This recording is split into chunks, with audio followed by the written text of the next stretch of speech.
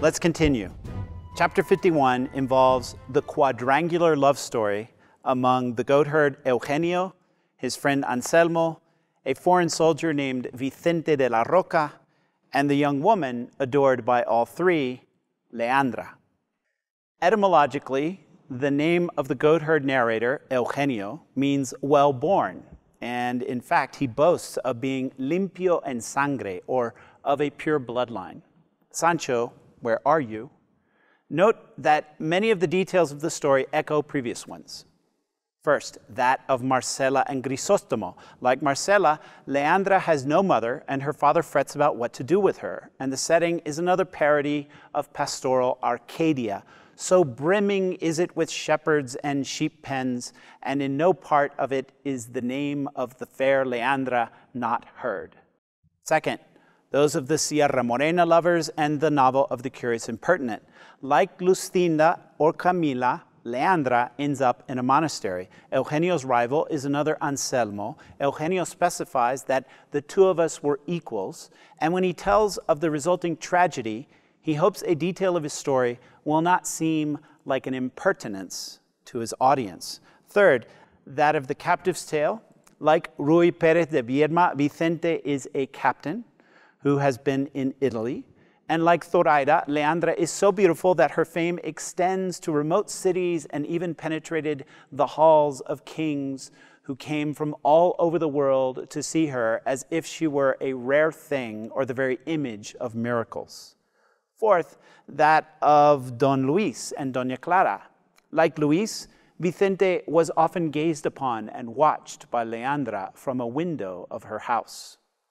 We've talked a lot about how the text's form reinforces its message or its function. Consider how elegantly the poetic genre of the ballad connects the story of Leandra and Vicente to that of Grisostomo and Marcela, and that of Don Luis and Doña Clara. At the end of chapter 11, the goatherd Antonio sings a ballad which previews the story of Grisostomo and Marcela. Later, in chapter 42, the mule boy who we later learn is Don Luis, sings another ballad. Most editors of Don Quixote think that Antonio's reappearance in this same chapter is a typographical error.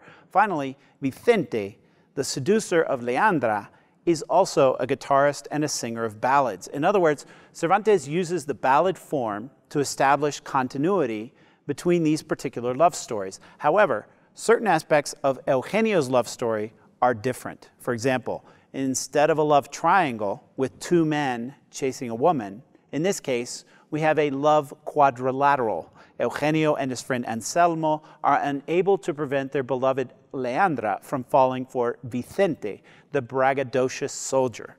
This makes for the most radical and problematic aspect of the story. First, Leandra flees with Vicente, deceived by his promise to marry her. Then, because Leandra is found in a cave in the hills, naked down to her undergarments, there's something deeply unrealistic about her claim that she is still a virgin. Eugenio underscores this problem. She also told how the soldier, without violating her honor, stole all she had, left her in that cave, and escaped, an outcome that further astonished everyone. It was most difficult for us to believe in the boy's continence, but she asserted it.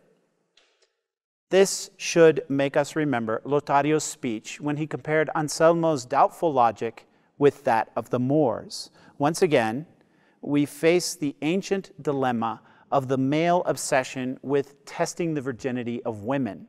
So there's also some relation between Leandra and Zoraida, Mary.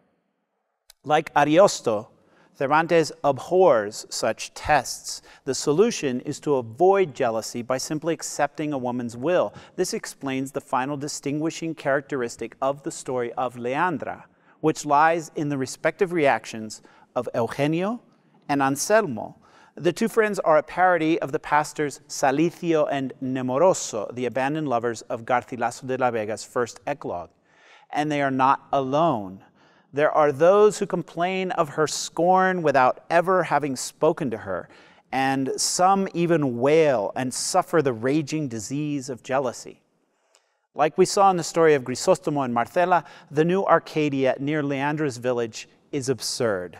Echoes repeat the name of Leandra wherever it is spoken. Leandra reverberates through the mountains. The streams murmur Leandra, and Leandra has us all enchanted and beguiled. Among all these frustrated lovers, however, Eugenio stresses that Anselmo is very different.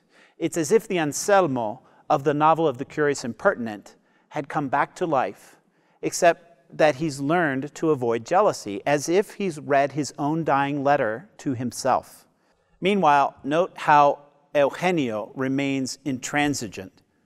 Among all these madmen, the one who shows that he has the least but also the best judgment is my rival Anselmo, who, fearing that he has so much else to complain about, only complains of her absence and to the sound of a rebec, which he plays admirably, he complains by singing verses that show his virtuous understanding. I take the easier and, in my opinion, better trodden road, which is to decry the frivolity of women, their inconstancy, their double dealing, and their dead promises. We have here one of the novel's greatest morals. If you are a male reader, become a new Anselmo a man who forgets about the sins of women and takes up a musical instrument and sings. And don't be yet another Eugenio who complains about the infidelity of a woman who falls in love with a foreign guitarist. In other words, judge not that ye be not judged, or do not speak ill of others. The same basic moral seen throughout the New Testament. Again, we hear in many passages of Don Quixote allusions to the interior Christianity of Erasmus. You, reader, reform yourself. Stop imposing your orthodoxy on others. With this moral in mind, there's another irony here.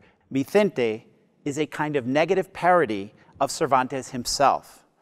Recall that Cervantes was also a young soldier in Italy, a poet and an artist, and impertinent. He had an illegitimate daughter and some even believe that he fought in a duel before going off to war. So, as we saw in the earlier allusion to a mysterious soldier named Saavedra in the Captive's Tale, Vicente could be another projection of Cervantes' personal life, which begs the question to what extent is Vicente a self portrait of the author of the first modern novel? Another interesting and culminating detail here is that Eugenio describes Vicente as analogous to Diego Garcia de Paredes, the knight praised by the priest way back in chapter 32, the knight who could stop a mill with his finger.